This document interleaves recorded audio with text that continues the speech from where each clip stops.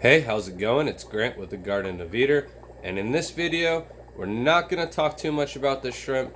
Instead, the star of this video is the Malaysian trumpet snail, or the red-rimmed Melania, or some people want to say the MTS, but uh, that's also a term for multiple tank syndrome, and anybody throwing that, that your way, those just those people aren't friends. Get them people out of your life move on, get more tanks. That's all we got to say to that. So, Malaysian trumpet snails, they get their name from the little red on their shell. Uh, some of them are kind of green in hue with purple, uh, others brown and white. I'm not sure if that's from water conditions or what. I do know in the acidic water, the lower pH water with the Caridina, they don't get quite as big. The one there on the right, that's our largest by far, uh, just under an inch. Uh, however, in our Neocaridina tanks with the harder water, they are well over an inch uh, to an inch and a quarter to an inch and a half on some of the larger ones. So, uh, not really sure though when you go to the Opae Ula tanks, however, uh, they stay super, super tiny. So, definitely not the hardness of the water there because the Opae Ula are as hard as water can be. So, um, however, they're super, super hardy. They, they take transitioning from one type of the water to another very, very easy with acclimation. And you only need one female to carry on and have babies. It does not need a male to fertilize the eggs or anything like that. Uh, they can get out of control on their population if you overfeed.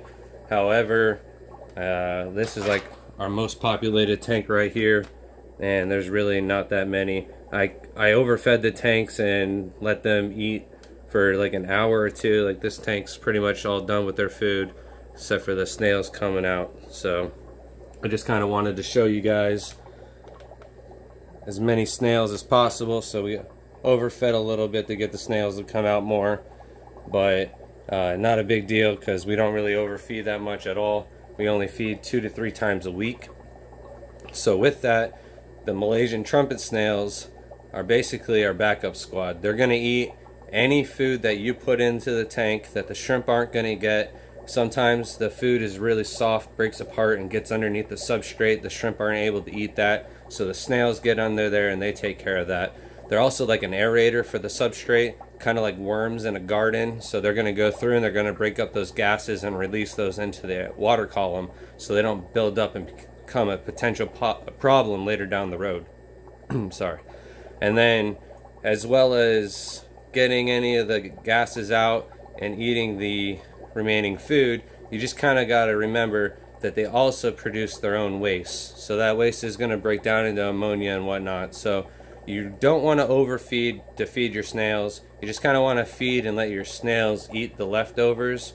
So we never really feed for the snails unless we were like trying to breed out the blue rams or something outside then we would do that in a separate container but in our shrimp tanks we just feed for the shrimp and then the snail population kind of contains itself. If you have ever got overpopulated or got some Malaysian trumpet snails on a plant or something and you didn't want them, uh, in a very short amount of time, assassin snails will make quick work of them and eradicate your problem. And before long, you'll be looking for more snails to feed your assassin snails. So they're never really an issue for us if they did become out of hand. You could also catch them and remove them by feeding them. That's what we're going to do today. We've got Layla's tank rack. It's almost ready to be uh, the first water change, and I'm not really seeing much snail activity. So we're going to go through and catch some of the snails and then throw those into her tank. Alright, so catching some more snails in Jaden's room. It's a nice purple.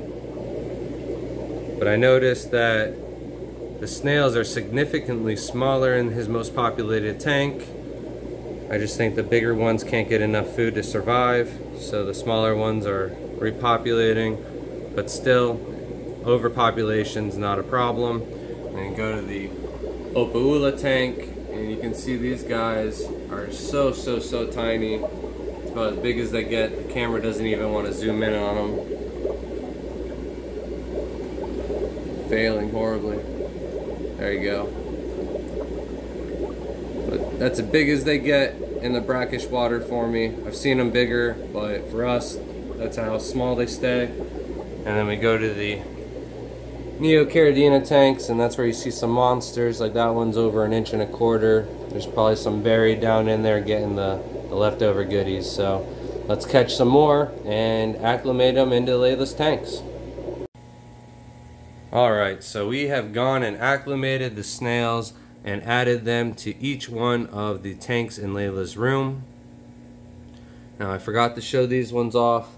They've kind of got no pointy tails. They're rounded and I'm almost positive that's because of the low pH in the soil. Now I'm hoping that the snails will do a good job and level out the substrate.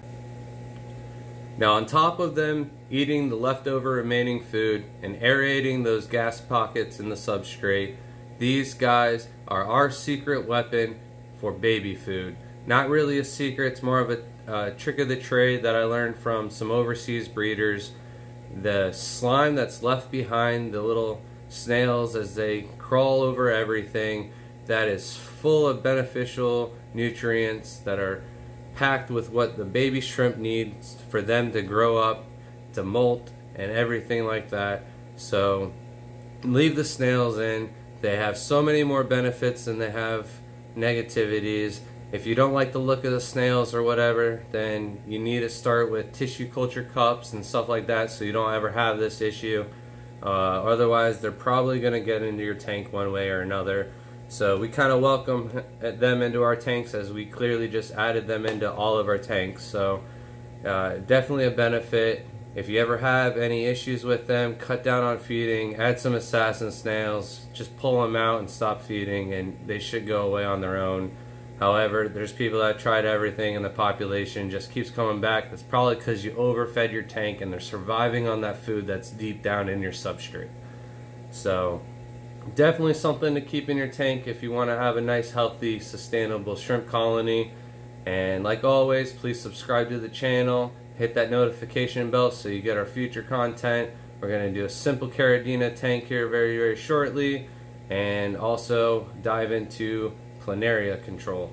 So stay tuned for those. Thanks for watching